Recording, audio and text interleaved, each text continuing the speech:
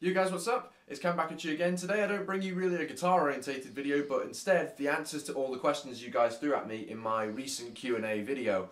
Uh, your responses were absolutely fantastic. I really can't wait to get answering them all. Um, if I can't cram all the questions in uh, to this video, I will be making another video afterwards. But um, without further ado, I will get straight into it.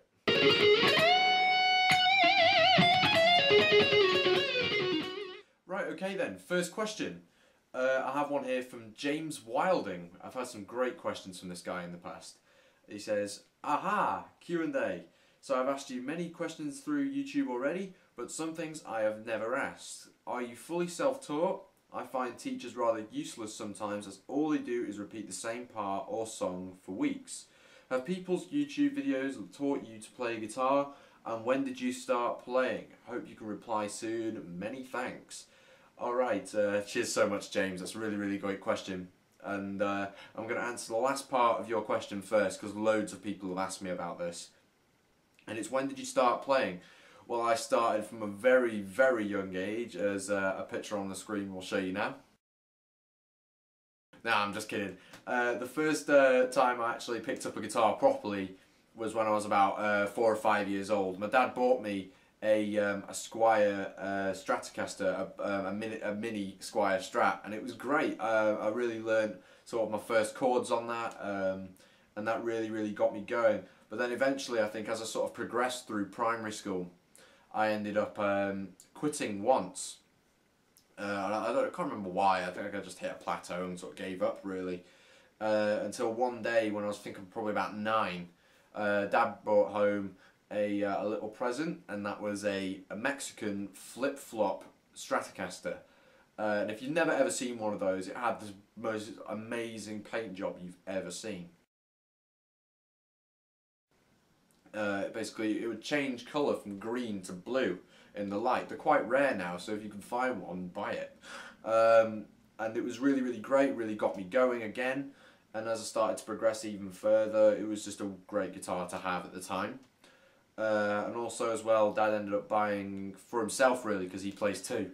He bought a um, an Ash Deluxe uh, Fender Stratocaster in I think age Cherry Sunburst, and that was an amazing guitar. Um, the neck on it was absolutely amazing. We full enough we actually sold it not too long ago. When I say not too long ago, it was in the last couple of years, and it was a, that was another really really great guitar. The neck on it was beautiful, and also the finish on it was great too. It had um, some really, really cool uh, features like abalone inlays and uh, S1 switching and all that kind of stuff. It sounded absolutely great. Um, okay, uh, I'll get to another question that you've asked me, James. Are you fully self-taught? Another, a lot. That's another popular one that people have asked me. Yes, pretty much. Um, I've been using. Well, I'm going to answer both of your questions in one here, really. Um, I mostly am self-taught. Yes, when I started, uh, my dad was a really, really big influence on me because he was the guy who really got me into guitar in the first place.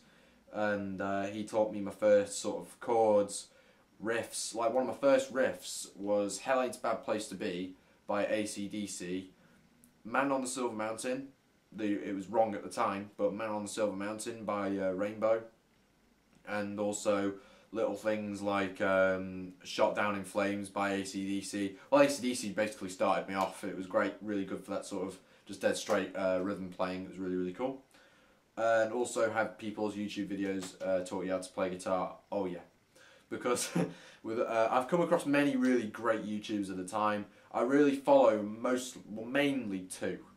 And that is Robert Baker and uh, Rick Graham uh, along with a load of other YouTube ones, uh, YouTube channels rather, uh, and they're just really really great. I, am over the past like two or three years, I've really been um, sort of focusing on my technique and learning things that are quite new and sort of sculpting my own style and really um, learning how to get better at what I do and hoping to find my own style if that makes sense.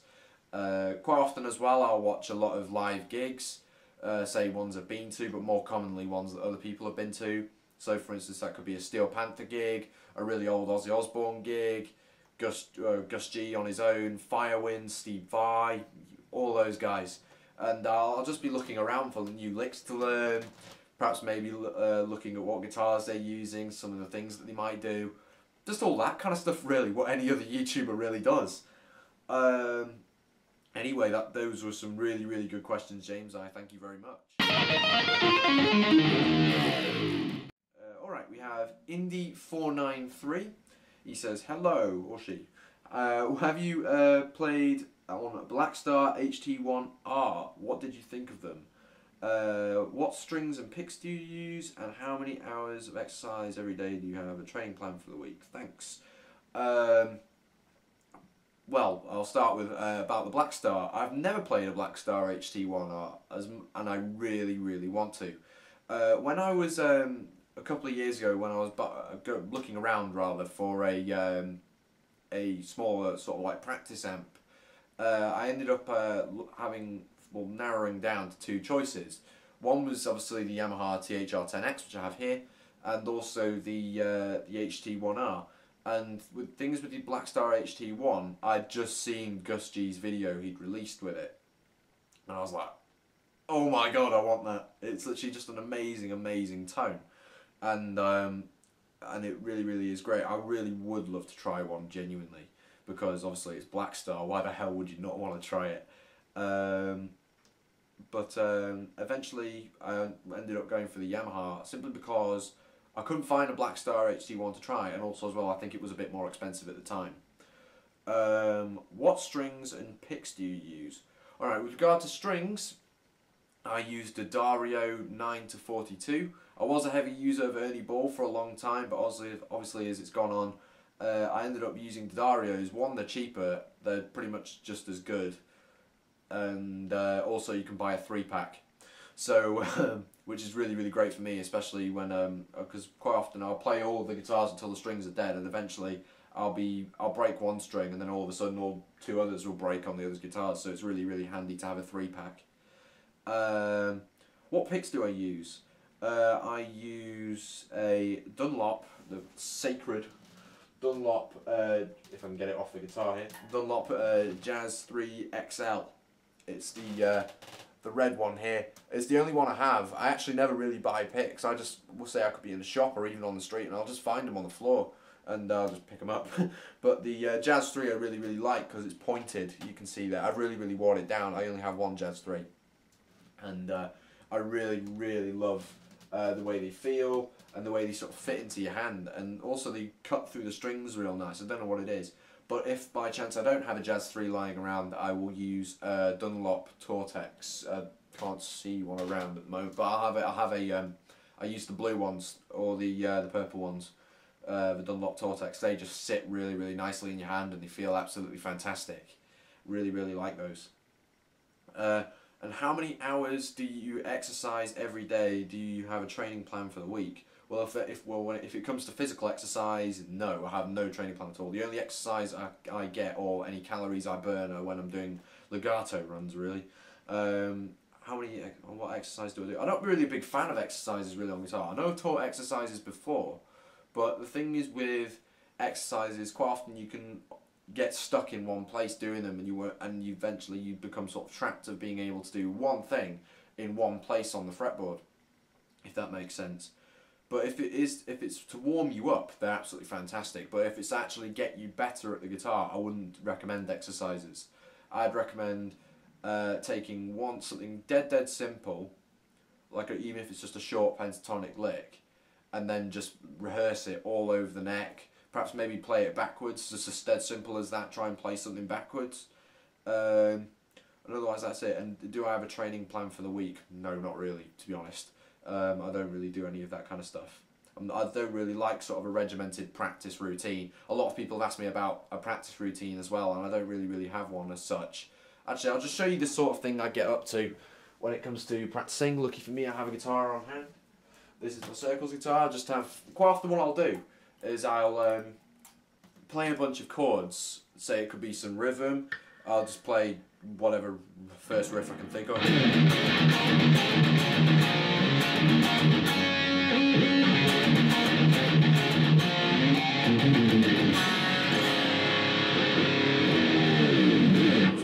One riff that will come into your head, and then eventually, once you sort of got yourself all synced up, you can start with all of the uh, the solo-y kind of stuff. That's all.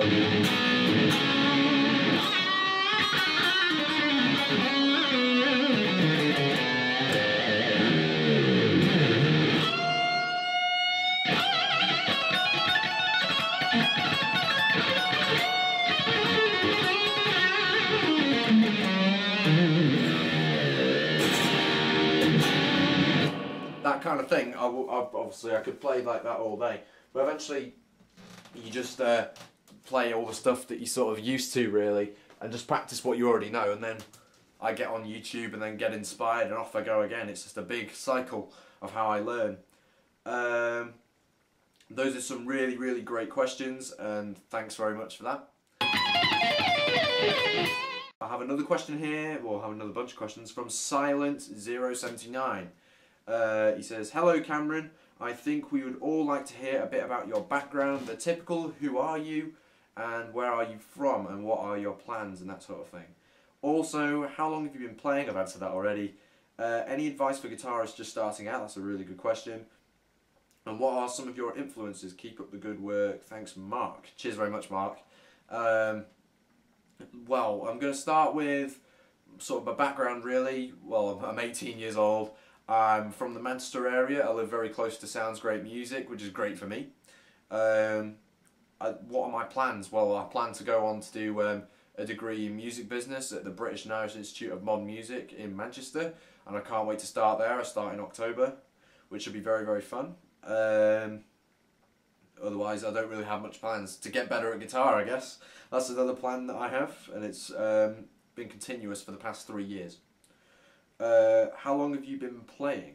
Already said that. Any advice for guitarists that are just starting out? Wow, um, just starting out. Um, if you just well, if you're just starting out, you've just bought a guitar from day one. Don't give up. Uh, that's a, well the number one rule really.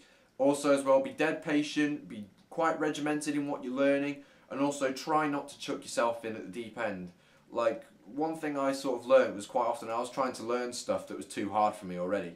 You've got to sort of uh, work out a bunch of stepping stones. So take for instance, you want to learn, um, for argument's sake, You Shook Me All Night Long by ACDC. There are a few great pentatonic licks in that, some string bending exercises, well exercises, just parts in that that involve a lot of really good string bending. And instead of trying to learn that solo straight off, you've got to learn how to string bend first. You've got to learn the pentatonic scale first. You've got to do all of these things before you are capable of achieving what you want to achieve, if this makes sense. And uh, also, as well, be confident as well. If you end up hitting a plateau and you don't feel like you're going anywhere, just keep playing. Just literally keep playing, and eventually you'll be um, doing something you already know one day. You might make a mistake, and it will sound awesome.